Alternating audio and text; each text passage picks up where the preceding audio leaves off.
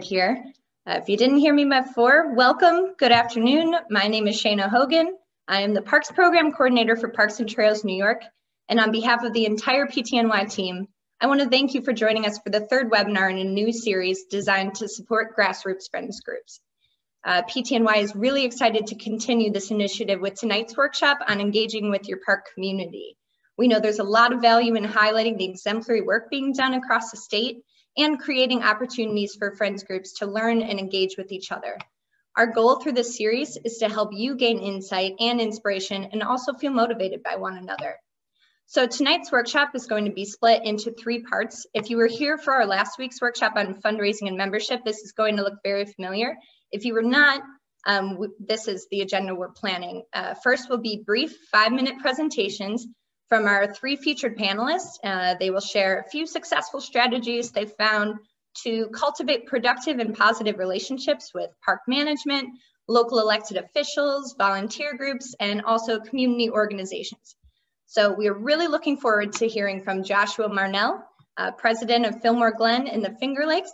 Uh, we have Carl Schoenthal, director and Trail Town chair of the Friends of the Genesee Valley Greenway, which if you don't know is a multi-use trail touching 16 towns and five counties.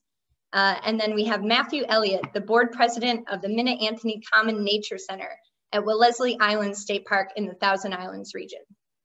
So after those brief presentations, we'll transition over to a 20 minute curated discussion uh, with the panelists led by PTNY's own Will Cote, our Parks Program Director.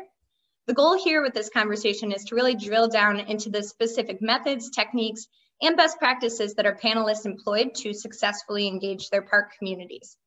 Finally, after that, we'll allocate the remainder of our time, approximately 20 minutes, to provide you, the attendees, an opportunity to ask Josh, Carl, Matthew, and Will specific questions you might have.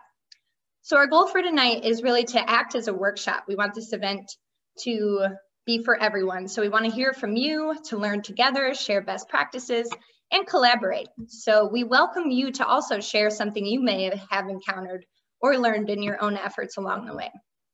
So before we begin, I really want to review a few simple housekeeping points.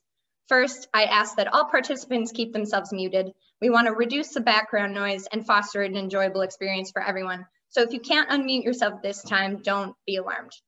Um, perhaps most importantly, I really encourage you to post any questions you have this afternoon by adding them to the chat, or you can send them directly to me through the chat.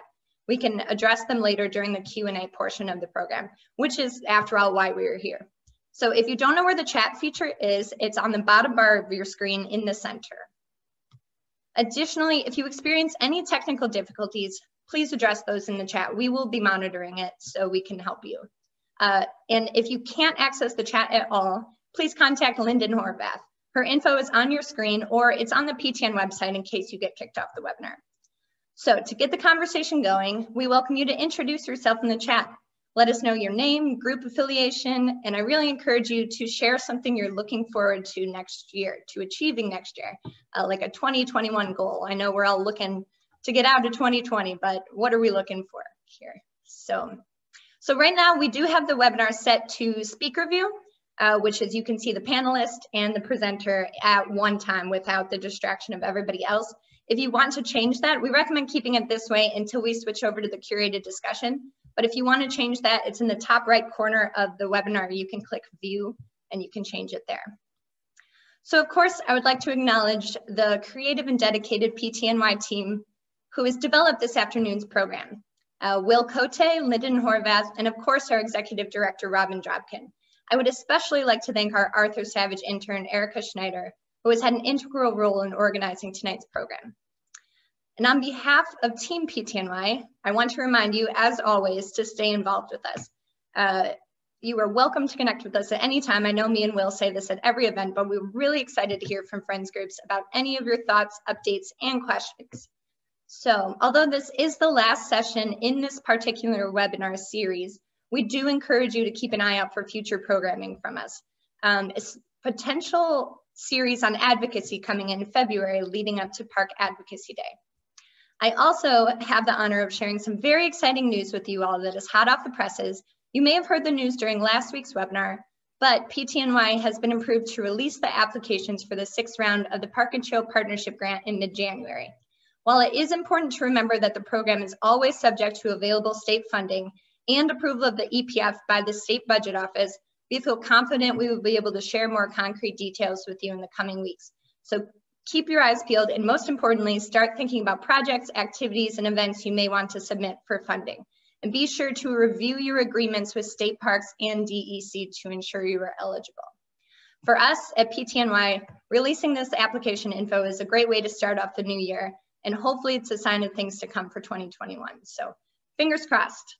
Uh, and with that, let's get to the main event. The PTNY is looking forward to learning from tonight's panelists and the curated conversation as much as we hope you are. Uh, so to that end, we strongly encourage you again to ask any clarifying questions really drill down into those insights we're hoping to gain from this conversation, especially for friends groups that are driven entirely by volunteers and may not have the backing of a larger, more robust organization. There are always new things to learn and be inspired by. So with that, Will, I will turn it over to you. Welcome. Thank you, Shana. Uh, appreciate that. Um, really excited to, to have this conversation with our featured panelists. Um, I think it was, it was a great experience to try to identify tonight's panelists because each of these friends groups is bringing something unique and different to the conversation tonight. They all have a unique experience engaging with their broader park community. Um, as we mentioned, we're going to talk with Joshua, Carl, and Matt, um, who should have some specific insights. So let's cut right to it. Um, I would like to, uh, to introduce Josh uh, Joshua, excuse me, from the Friends of Fillmore Glen, um, who has a particular deep series of connections with his park community and the town in which it's located. So Josh, take, us, take it away. Tell us a little bit about um, some of those two or three best practices that you have um, working in this aspect of uh, Friends groups. Sure. Um, you know, one of the best ways we found to engage our community is um, making sure you're visible and also heard at the same time. Um, it is important to uh, work together with other non-for-profits in the area. Um, for example, at Fillmore Days, uh, we gave any non-for-profit a free vending space um, to do whatever they want. They could have a little fundraiser, a little raffle, or just make themselves known to the community. Um, also, um, let's say for Fillmore Days, we made posters and uh, they were a circus style poster and we hung them all around town uh, we literally put them in every business on Main Street, uh, right in the front window. So anybody walking by would see that poster and they would recognize it because they've seen so many of them that it was an easy recognizable image. Um, after that, we took a, a, screenshot of those posters and uh, we put shared them to our Facebook page. Um, social media is a great way to interact with your community as well as communities in the surrounding areas. Um, within just a day we, we received over a thousand views. I mean, that, it's just amazing how quickly it can spread there. Um, another good method is to share your event with your friends and family because hey, they may not have the same friends you have, and uh, you know it just takes very little work, just a few minutes worth of effort, and uh, you know you push that share button, and then thousands of people can view it. Um, we also advertise in our local newspapers and uh, the surrounding cities around us newspapers. Um, that was quite helpful. It helps you reach a broad range of demographics with uh, the least amount of work and the least amount of cost.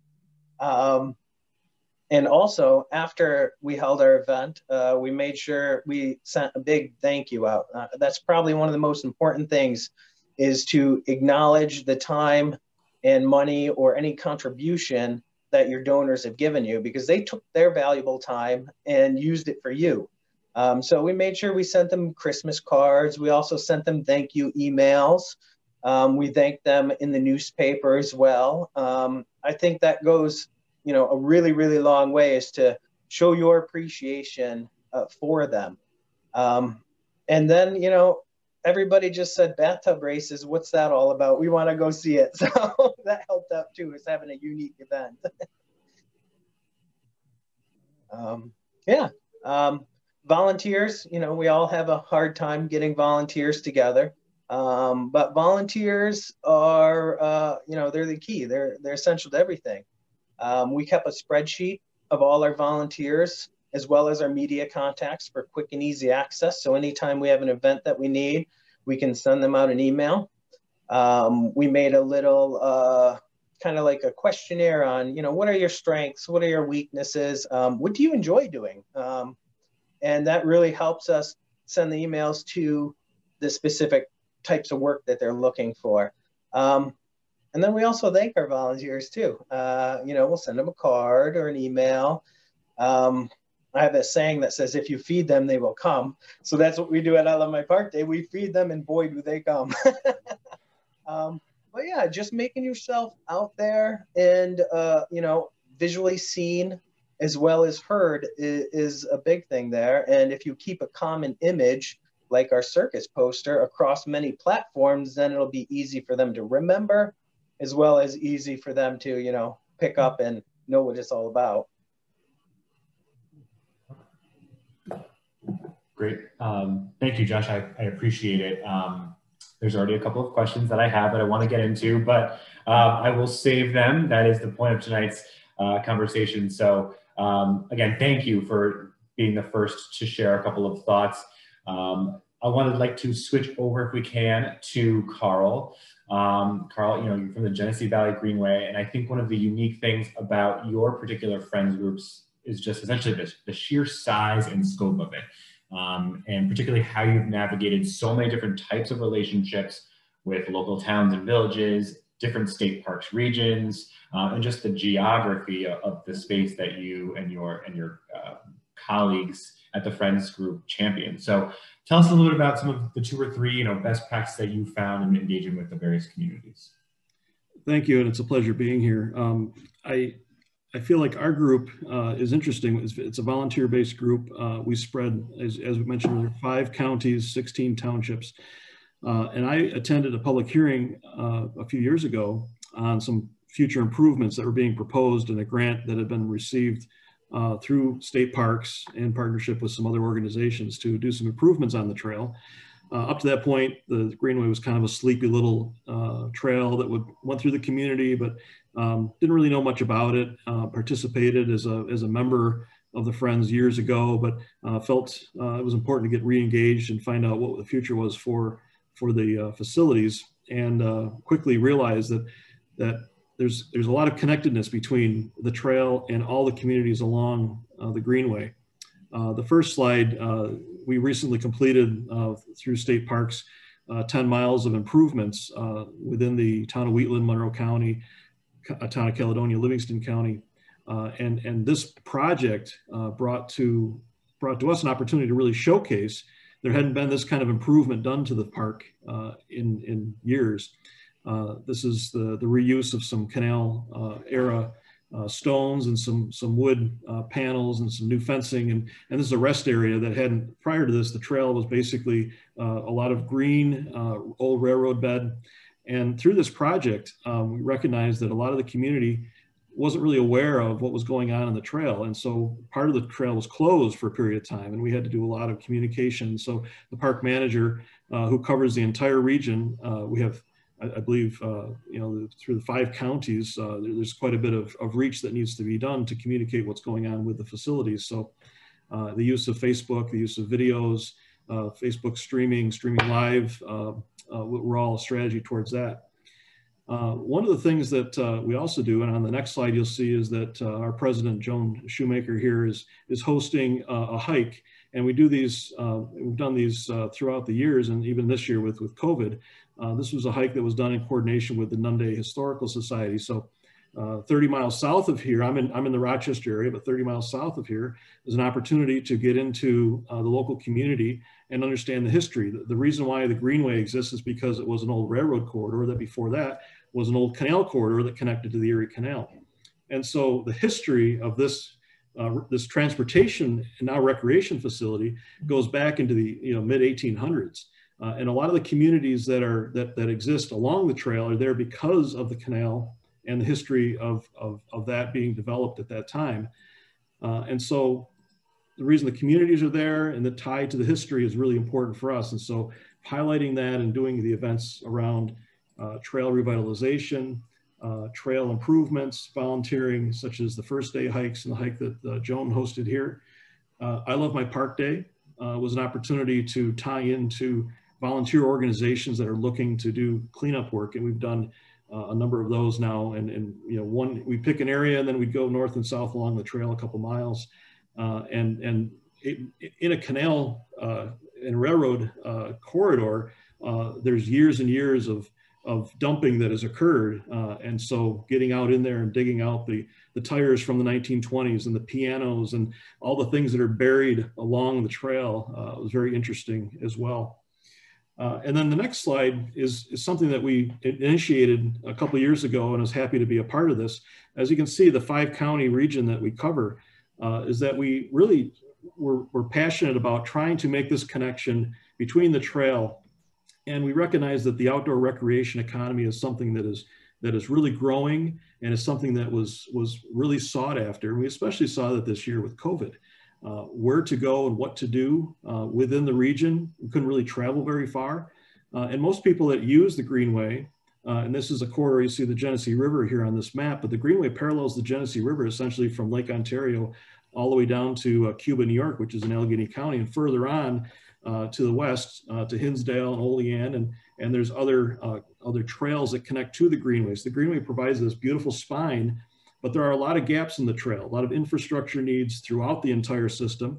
Uh, we looked at 10 miles that was reconstructed, but uh, this is a 90, it's almost a 100 mile trail uh, that, that all has uh, certain needs. But the biggest need we saw was that each community along the trail, while it was formed over 150 years ago, uh, was built was built there because of the economic opportunities that that canal and the railroad provided, and we're looking to transition this now to a current you know, 20, the 2020s uh, are going to be an opportunity for us to promote the outdoor recreational economy. So we're going out and we've actually signed up already almost 10 communities that'll be participating in a USDA grant funded program to evaluate the assets in a community, uh, understand what the connections are to the trail, uh, look for improvements within that corridor, uh, business support, and outreach into the different communities and programming uh, and we call this the Genesee Valley Trail Town Program. Uh, and so through that funding source and through the opportunity and the economic uh, value that we see, a lot of these small communities that otherwise have really, uh, they really don't have a lot of, of opportunity for drawing tourism, but because they have a very rural and very, uh, very um, uh, recreationally focused experience that you could find. Letchworth Park is right in the center of this, Allegany Park to the south. you've got Lake Ontario to the north. So uh, taking a, a, route from the north through the south, using your bicycle, hiking, snowmobiling as well, um, all seasons, uh, and multi-use, so equestrian users. Uh, there, there's really a lot of opportunity to, to tie the trail into the communities. And so that's the program that we've initiated and we're underway with. That sounds like an awesome project. A lot to do though, obviously. Um, I also have a lot of follow-up questions, Carl. I'm, I'm doing my best to save them though, although um, the PTNY staff here knows I'm about to jump out of my skin with all the questions I have. Um, just as also a reminder too, for all of our participants out there, hopefully you have some questions as well. So again, feel free to add them to the chat or um, if you're more comfortable, you can uh, send them directly to Shana who will be uh, collecting them all for us as we, as we move into the last section of the agenda here. Um, and so without further ado, I just wanna move on to um, our last featured panelist, um, Matt uh, from the Nature Center um, up in the extreme north, if you will. Um, you know, your friends group has a, a, again a very unique relationship engaging with state parks. Um, so you know, tell us a little bit about that um, and some of the you know these best practices that you've identified in working with uh, your park community in a larger sense. Sounds good. Thank you very much. Hello, everyone. I'm Matt Elliott with the Friends of the Nature Center. We support the Minna Anthony Common Nature Center. You can see it's just above the logo in the bottom right-hand corner. Uh, in Wellesley Island State Park along the St. Lawrence River. Um, with over nine miles of trails and over 40,000 year-round visitors, our mission is to support environmental programming that fosters conservation of local ecosystems, encourage uh, environmental uh, recreation, encourage recreation, uh, and inspire visitors to develop an increased respect for the natural world. Uh, next slide. And so if you look at the people that we're working for, it, these three pictures sort of sum that up. The first is our campers. So we are year, year round and our cabins are currently full right now uh, throughout the weekends. But primarily we're, we're facilitating a, the transient camper group that comes to the state parks uh, in the first picture. Second picture would be our local population. Uh, there's two small towns in our area and then uh, just south of us is Watertown, which is a small city. And we do a lot of things with the locals like school field trips. And the third picture is uh, because of our location, we have a, a summer uh, recreation group. So we have uh, cottage owners and people who come in the spring and leave in the fall. And we really try to facilitate these three different groups. And, and we have a number of different programs that do that. Um, you know, how, the question we were asked is how to maintain a working relationship with the parks and communication is key. So over communicating is important. Uh, we have structured monthly board meetings with both board members and park staff, which give us a consistent opportunity to follow up, hopefully, usually in person, although lately we've added uh, Zoom meetings and we've been getting through this pandemic with that. Uh, email, you know, yeah, you have, everyone has these things. Email is important. I, people are different, different skill levels with email. Some people check it once a week, especially our retired volunteers, and then some people are, are pretty on the ball. So the best thing for me is always face-to-face meetings or open phone calls where you can have a conversation. Uh, next slide. Uh, but what's really probably unique about us, um, to Will's point, is we, work very closely with the state park. So the Friends has its own employees and the state park has their own employees and we're all there to support each other in a common way. And so the, the parks has two year-round full-time employees. They also have seasonal workers who come in in the spring and leave in the fall, college students, high school kids. We have interns. The Friends uh, actually support through uh, our donations an employee that's an NHT employee, uh, Natural Heritage Trust, that we actually fully commit to a full seasonal, full year-round employee there. And then we have our bookkeeper as well. So it's unique because, and, and a lot of other charities that we work with don't always understand how we work because they're usually the board of directors runs all of the employees they're in charge of everything but for us we really have to to continually partner and work together on everything so um, our organizational structure is key and i don't you know want to get too nerdy will i know you're going to appreciate this but um, you know we look have a real organic versus top down structure so my background is in business, but I'm not necessarily an expert on uh, nature uh, and edu- uh, natural education. Um, but we have people on the board who are, uh, you know, and we have the parks employees who are. So what we've tried to do is come up with a committee system that builds upon everybody's strengths. So we're very lucky because we have very qualified, motivated staff uh, members and board members, and they're passionate and you know that everybody's looking to uh, achieve the same goals. Um, so we have clearly defined committees you know your basic committees membership education finance executive committee and then ad hoc committees if we need to create something. But what's unique what we did a couple years ago which has made things a lot better is this time of year we we allocate our annual budget to each committee so if a state park person if the education coordinator for the state park needs something and they need something for a school field trip in a week, they can go directly to the chair of our education department for the Friends and ask for it. And that person has their own budget and has knowledge, working knowledge of what's happening in that situation and is able to, to immediately grant those, those requests or say no and then have the conversation why. Uh, but that's really helped us streamline and become a, a, a much more nimble, especially with everything happening with the pandemic we, we essentially have leaderships at, at every level. Uh, you know, we have leadership at every level, and we're trying to, to make uh, everybody work cross-functionally. Um, and, you know, that really is, is helpful because we have very clearly defined roles. So, you know, hopefully the director of the Nature Center, if they needed something to do with our store, would know to call the fundraising uh, lead or if it was about education, they would know the right person to talk to, and then they would they would be able to figure it out. And if if for some reason they didn't have the funding, they could always come back to the board and ask for more. And then I just put some core values. You know, trust is really important when you're working in two different organizations. One's private, one's public. You really have to trust that you're all there for the right reason, right? Everybody's there for the same goal. Um, even our mission statement, we all collaborated with uh, to come together on it. You have to respect the other person. You know, they're coming from a different background.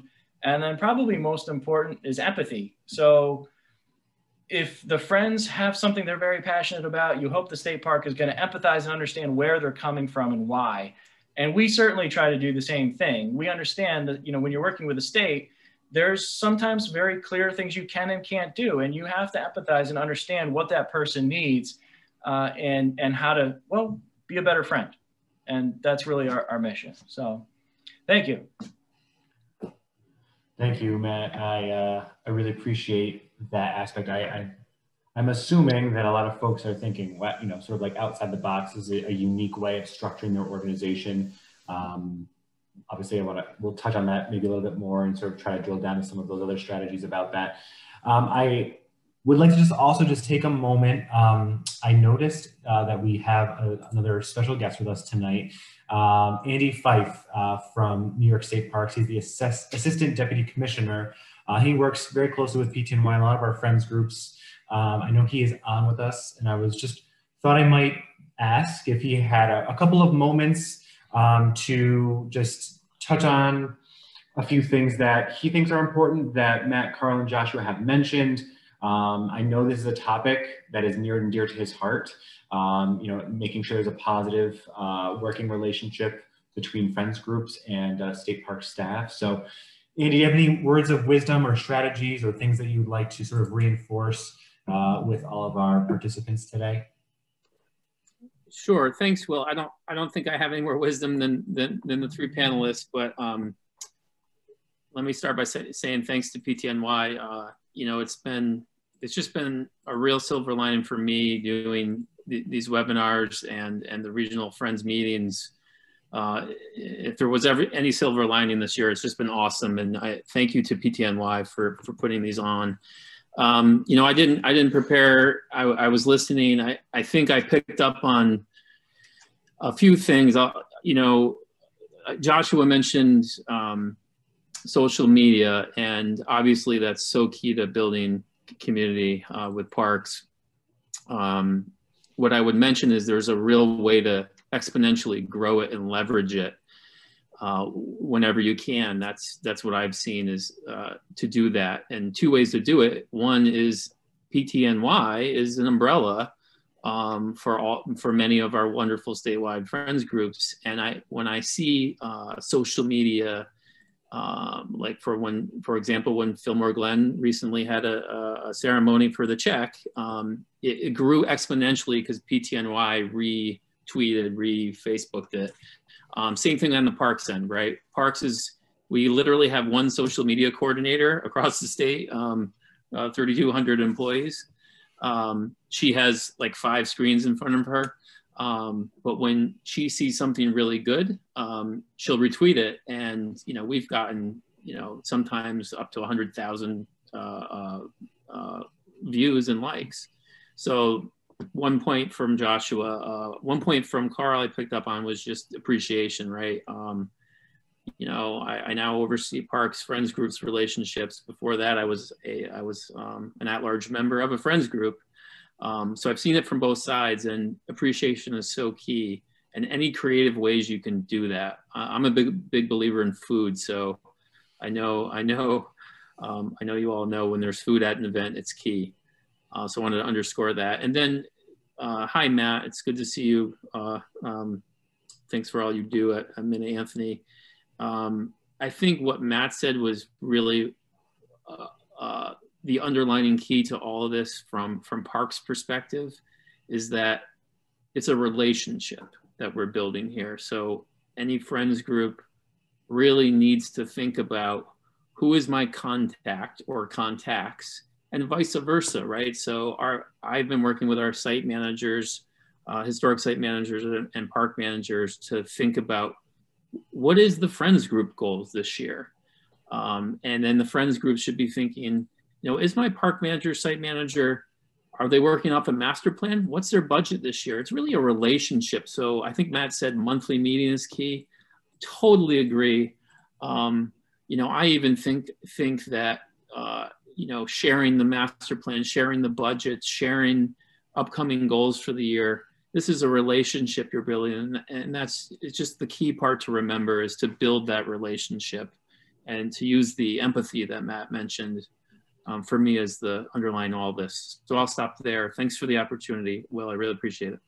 Of course, yeah, absolutely, Andy. Always appreciate it, and you know, I think on behalf of all of the friends groups and, and our participants, it's always really nice to hear that the state is thinking the same way and both parties are working towards having a really positive and collaborative relationship, you know, and relationships have up and downs, um, but positive communication is key and that's how, and that's how it goes. So um, we're going to dive into that a little bit too. So, so thank you. Um, so Matt, Carl, and Joshua, I have some questions lined up for you.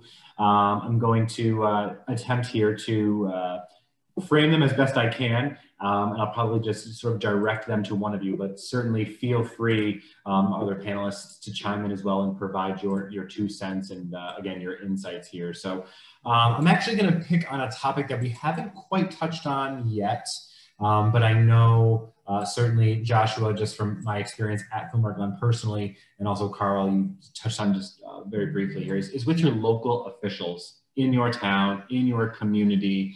Um, you know, how do you engage with local leaders, your town boards, your mayors, um, and you know how important is it for them to commit to your group, and how do you talk about what your group does? So it's a broad topic, but you know, Joshua, maybe you'd be willing to start. Um, how do you how do you have that conversation with your local leaders? Sure. Um, well, I just go down to the mayor's office and say, "Hey, no," um, but um, uh, you know, it's tough because we've reached out to local officials as well as uh, a little bit larger uh, officials, and it, so you know sometimes it is very difficult to get them to come or to, or to get them to hear. Um, but you have to really be persistent. Like I went down to the village office and hand delivered the, the circus flyer for uh, the Fillmore Days. talked to the mayor in person about it. Um, you know, it's you have to be persistent. I think that is key when dealing uh, with any of those officials. Yeah, Will, we had the opportunity early into our committee work um, to become aware of a collaborative relationship that existed at the north end of Letchworth Park between three area villages, the village of Perry in, in the Wyoming County, uh, Mount Morris and Geneseo in Livingston County, and uh, recognized immediately that they were working on a lot of the same kinds of things in their relationship to Letchworth Park, being a gateway to the park, as we were trying to build with being in the in the development of gateways, trailheads, access points along the greenway.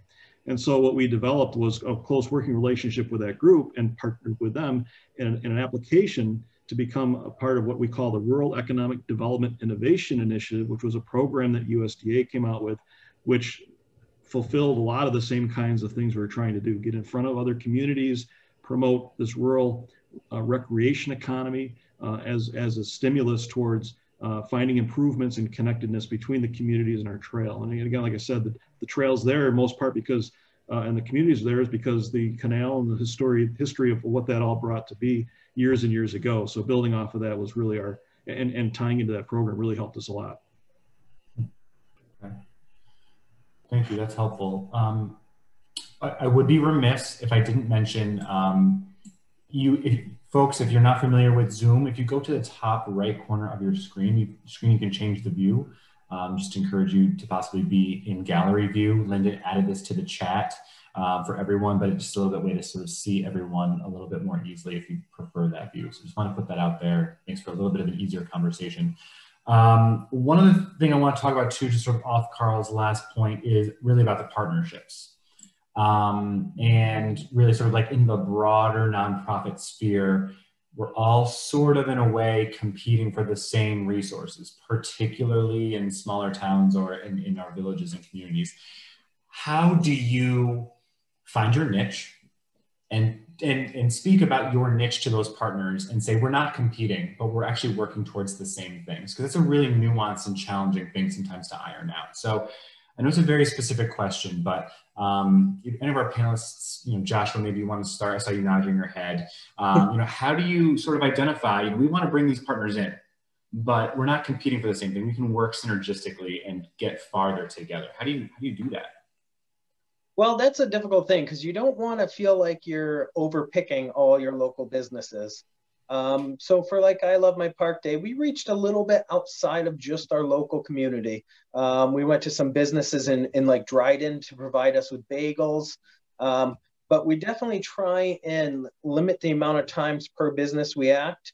We ask uh, for things. Um, also, um, you know, we work a lot with the other non-for-profits in the area. We work with Boy Scouts, we work with Girl Scouts, um, 4-H Club, and um, with like an event that we'll have, we'll each give them, let's say, a specific task. So for the car show that we hold every year and the um, Fillmore Days, uh, the Boy Scouts sell bottles of water. So that's their their only job. They're the only people that do it there. Um, so each one of them kind of get their own specific piece of the pie um, where they can excel. And that way, not everybody's doing the same exact thing.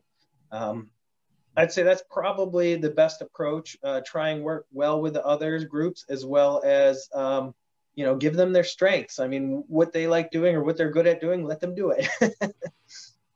we provided uh, the space for an Easter egg hunt. Uh, the kids running up and down the Greenway. And on the I Love My Park Day, uh, we tied into the local village doing an Arbor Day event. So while they were doing a tree planting literally on the Greenway, adjacent to the Greenway, we were also uh, promoting cleanup and uh, it worked very well. That is wonderful.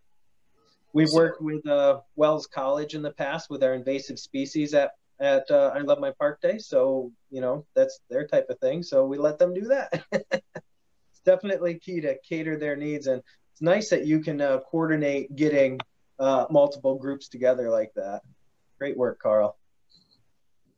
We, we definitely take the philosophy the, the rising tide lifts all boats. And a few years ago, we had a large, well, to us, it was large capital campaign to redesign our nature center.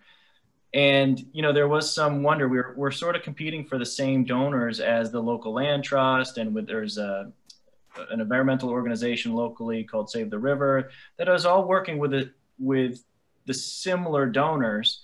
Uh, but what we what we had to realize is that we could one help each other uh, and two um, we're all sort of have different missions right and there's there's plenty to go around especially if we work together so even though we were all sort of somewhat competing, we're really not because there tends to be more dollars when we all work together.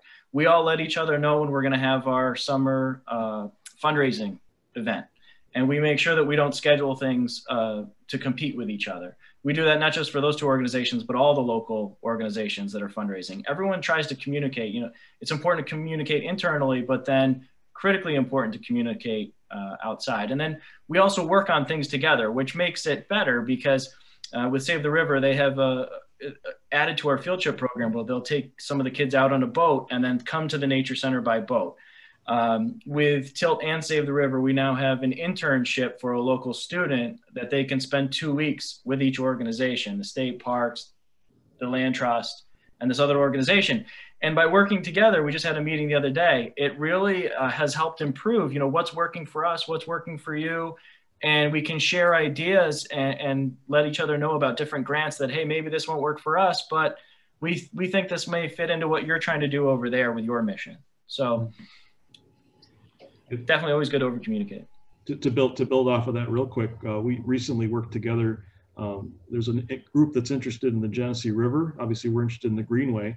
We also have the Finger Lakes Trail, and we have access to potentially grant funded sources that look for collaboration, look for um, regional focused uh, initiatives, uh, biggest bang for their buck, so to speak. So um, we're always on the on the on the lookout for those kinds of partnerships and relationships. At first, they don't maybe they don't work right away, but everyone gets the idea that this is working towards a greater good.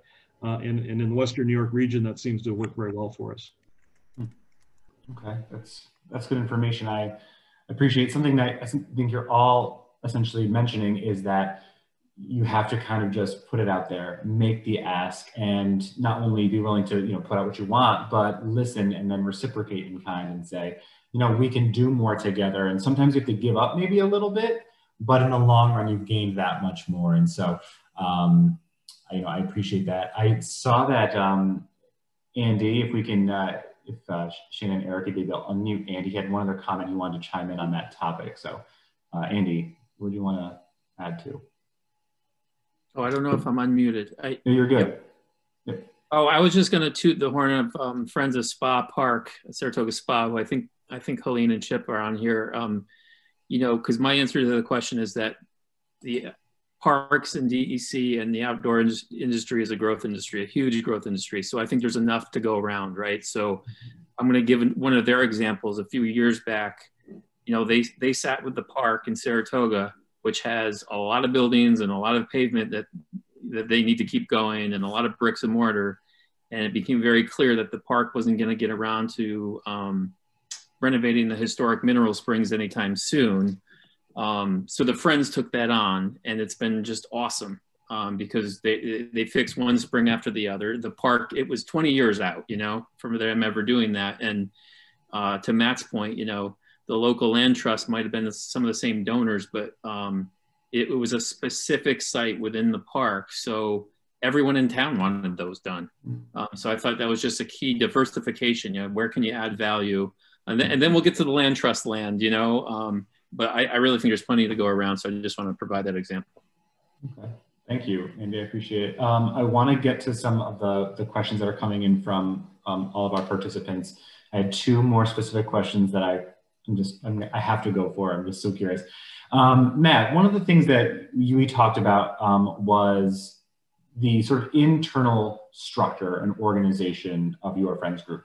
Um, and after we chatted with you, Shane and I, you know, connected afterwards. We're like, oh, this idea, this idea. And so it was very inspiring for us. Um, and I think sort of talking about your organic versus your top-down structure can sound very scary, I would think, to some groups that are used to doing it in a more traditional fashion. Um, so basically a two-part question for you. You know, what tips would you have to those groups that think it's too scary to take on or to try something new? Um, and sort of maybe as an addition to that, for those groups that don't have more of an organizational backing, they truly are volunteer driven, any tips on how they could do something similar to create that positive communication? Yeah, so for for us, it, it, change can be definitely a little bit scary, and especially if you're dealing with, you know, if you're looking at the two organizations as separate entities, sorry about that. Um, but realistically, we're trying to look at it as if we're the same. And we're really, we really do benefit because we, we have really worked hard at finding board members and volunteers who come from different areas and have different skill sets.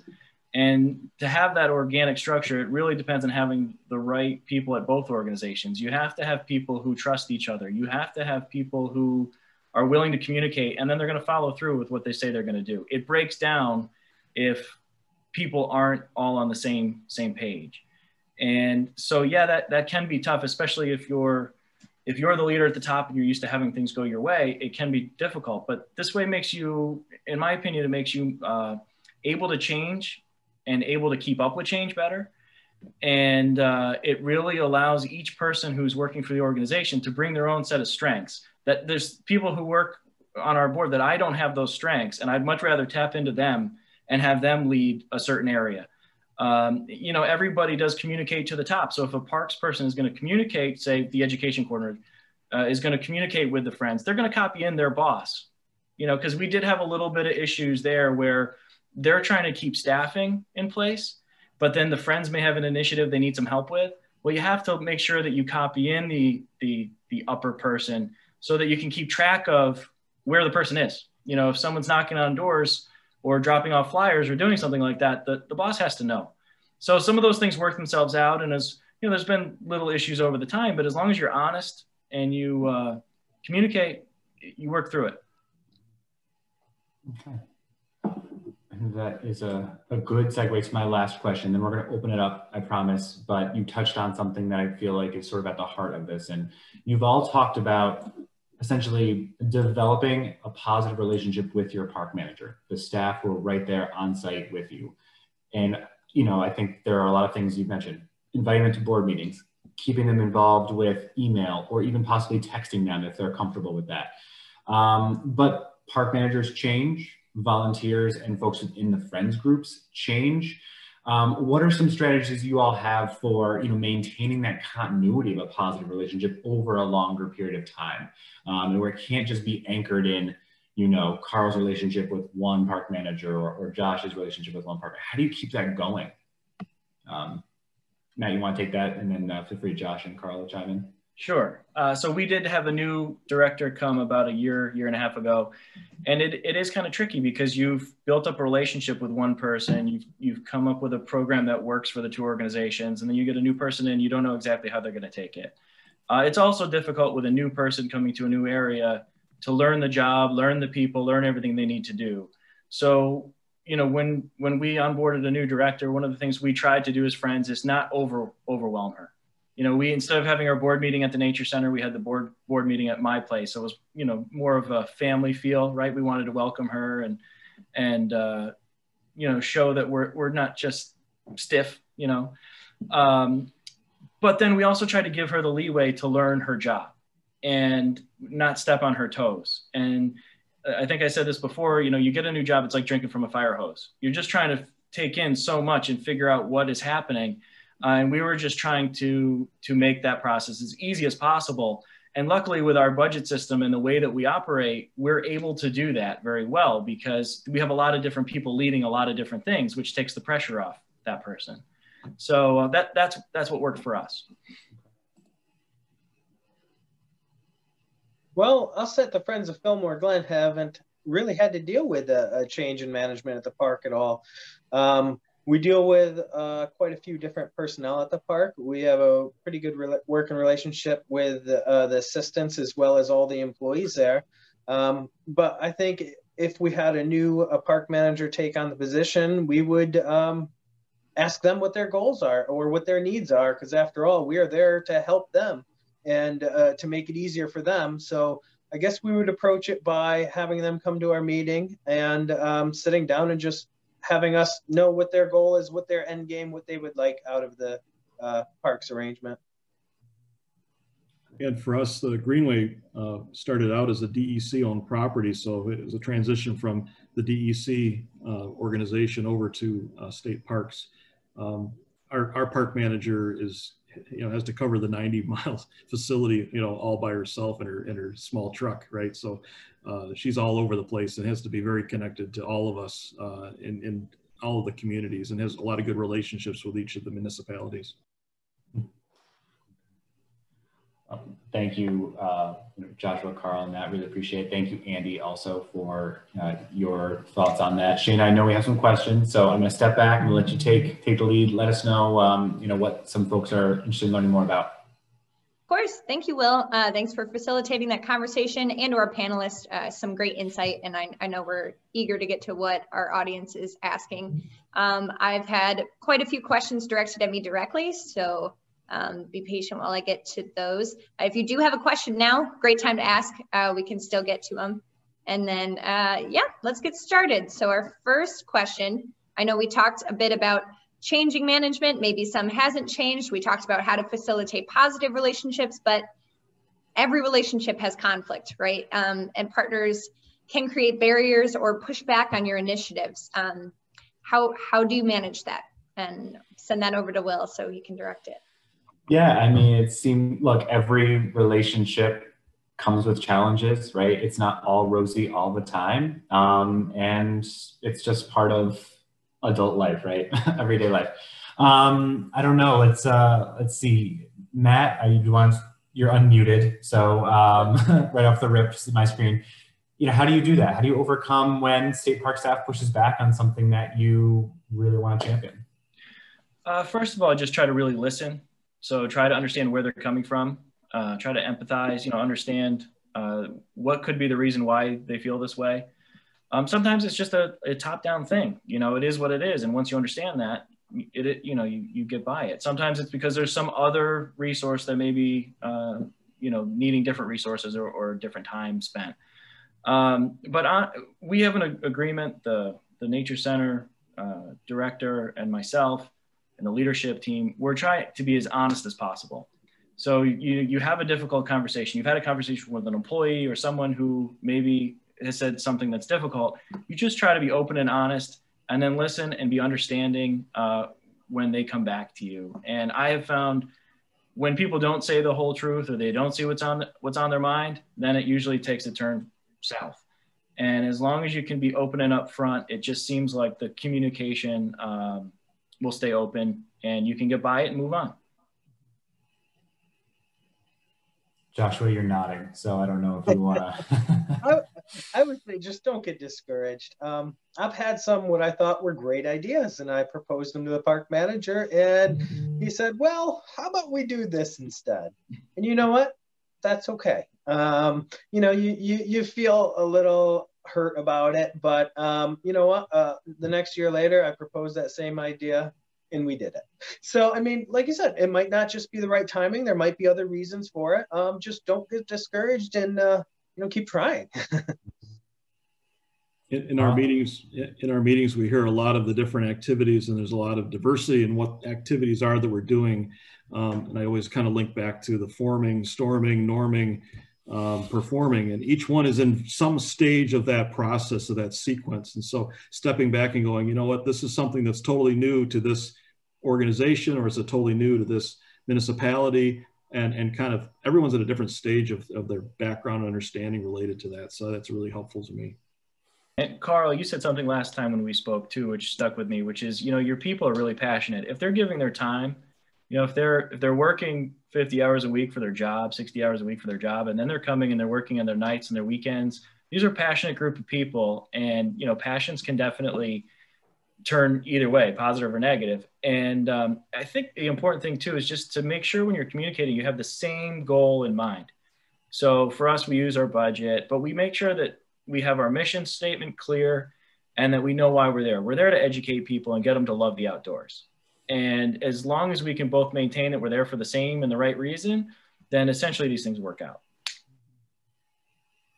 I think that's great advice from all of you. I appreciate it. Um, something that the parks team has been talking about, just the art of compromise. You know, you all get along if you give up a little bit of something and ultimately doing a little bit of something is better than not doing anything. So, um, but Joshua, I think it's good advice just to stick with it and, and keep trying and coming at from different ways. So Shannon, what else, uh, what else are our folks curious to learn? So I have a question here from Elizabeth Watson uh, asking, how do you maintain continuity in keeping partners engaged in large scale projects that take a while to complete? It's a good question. It's a great question. that is a great question. I think I think the best idea is to distribute the work. Um, I have probably a bad habit of trying to take on everything myself, and my mom, who is on this call, uh, helps keep me in line really. Uh, i mean she does. She's been doing it my whole life. She's great at it. Um, but yeah you have to distribute the workload among your people make sure they understand uh, what their role is in this and then don't micromanage them. Let them figure it out and then just kind of keep tabs you know light tabs on them um, just to say hey how's things going? And um, that's probably my two cents on that And we have members that are, you know, 30 years at this and, and they've, you know, given their, their life, you know, to this facility and the dream of getting this, you know, to where it is today. And there's going to be another 30 years worth of work going forward. And so um, being able to, uh, to build the uh, capacity uh, and leverage other resources that are at your disposal or within close contact relationships you develop over time uh, are, are especially important. When we have a, a long project when we had our capital campaign and our redesign, uh, definitely the things you guys are talking about is critically important. And then just like some smaller tactics, we tried to take, have you ever heard of SMART goals? So that's something that we were trying to do, you know, sizable, measurable actions, you know, time specific. One of the biggest issues we were running into as a board is we weren't assigning times or deadlines. And so we've even had our secretary build that into our monthly notes where we say, okay, we'll come up, we'll vote on something, we'll, we'll say we're going to do something. And then he's really great because he's, well, wait a minute, what are we going to do this by? And so having clear deadlines has been critically important, meeting those deadlines. And even if you don't have done what it is you want to get done, letting the team know what the status is. Because that's one of the things, deadlines sometimes get missed, it's going to happen. But um, communicating where you are in the process at that point is critically important because it brings it up to the forefront. And what we see all the time, maybe you guys are the same, but because we have the monthly board meeting, you see this flurry of emails right before the meeting, like three, four days before, where everybody's working like, oh no, I can't believe the board meeting's coming. And then that week after, right? And you get those those golden periods where people are really rocking. So um, you know, those are just some little things that we've done. Hopefully that helps. So one other thing I'd mentioned that on that topic too, that all three of our panelists have mentioned, as well as a connection to our last conversation uh, last week that Linda has really been stressing, and I've learned from her, is just more personal touches too.